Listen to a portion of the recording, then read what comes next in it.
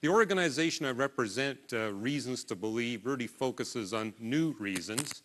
You can see that by going to our reasons.org website. Every day we post a new scientific discovery that gives additional evidence uh, for our biblical uh, creation model.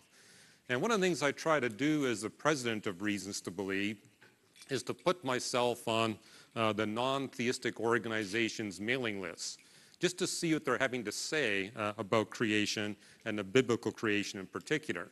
And uh, what I've observed is that uh, they have numerous repeated complaints that they make about the intelligent design movement in general. Do I need to use this microphone? Okay. And uh, this next point, these are the five things I see repeatedly in their literature as they complain about intelligent design and intelligent design movement. They say there's no testable model, that intelligent design is not repeatable or observable, there are no predictions flowing out of intelligent design research, there's no refinement of the models, and that intelligent design tolerates provably failed uh, creation models. And uh, we heard these complaints last night. And so I'd like to try to address these complaints. I think they must be addressed if we, as intelligent design theorists, are to have any credibility.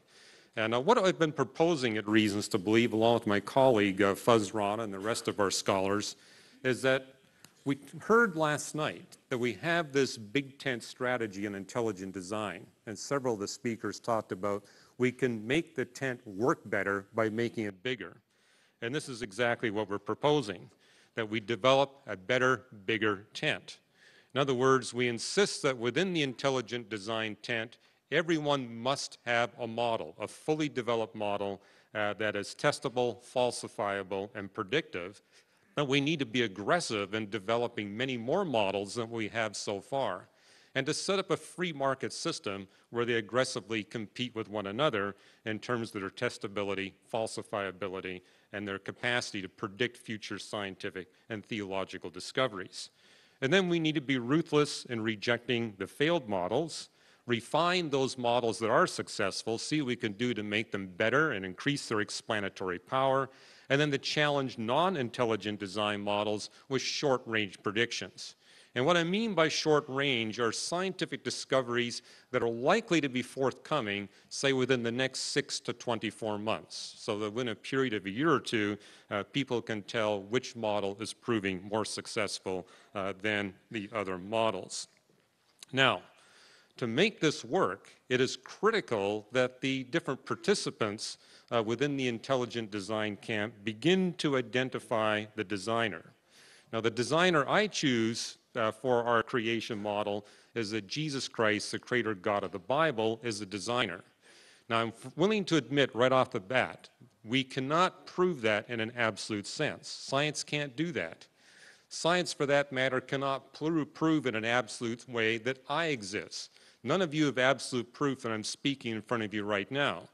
On the other hand, I would argue that you can develop with the tools of science a probability that I'm speaking in front of you right now. And the question is, what is that probability and what kind of uncertainty do we have the fact that I exist and we can apply this to the designer?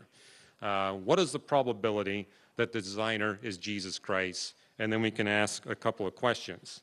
Is the uncertainty about our identification of the designer, and it could be different models with different designers identified, is that uncertainty getting progressively smaller or is it getting progressively larger as scientists learn more and more about the record of nature? Then the second question, has science developed to the point where the uncertainty is small enough to eliminate the alternatives that are competing uh, with your model? Now, there are those who will argue that doesn't this violate the church-state clause, the separation of church and state? Well, I would argue that what we see in the First Amendment of our Constitution is that it guarantees the freedom of religion. It is not guaranteeing the freedom from religion. It's not a Soviet-style system where the only religion permitted is that of atheistic materialism. It's the freedom of, not the freedom from. However, the way it's been practiced is it prevents a federally supported denomination, not at a state level, though the states have chosen to follow suit. Also, we need to note that from the very beginning of our nation, the state has always discriminated against failed religious models. You know, 200 years ago, you didn't see the state sponsoring uh, educational programs based on a flat Earth or based on the concept that the Earth was the center of the solar system rather than the sun, in spite of the fact that both concepts are loaded uh, with a lot of religious baggage. The state has always done it uh, where the evidence is overwhelming that it's a failed model.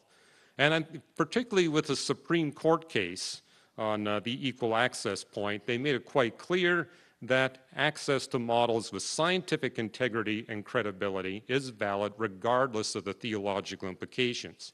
What you see in the four court cases of the past 50 years is the standard of measure was how credible, how valid, uh, how, what degree of integrity we see in the science that's behind uh, the religious concept. And if that's there, uh, it has access regardless of its theological implications.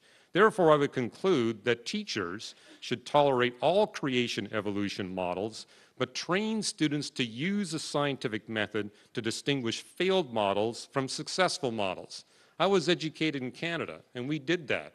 I mean, our teachers trained us to use a scientific method to figure out why, for example, geocentrism wasn't an acceptable hypothesis uh, in spite of its religious implications.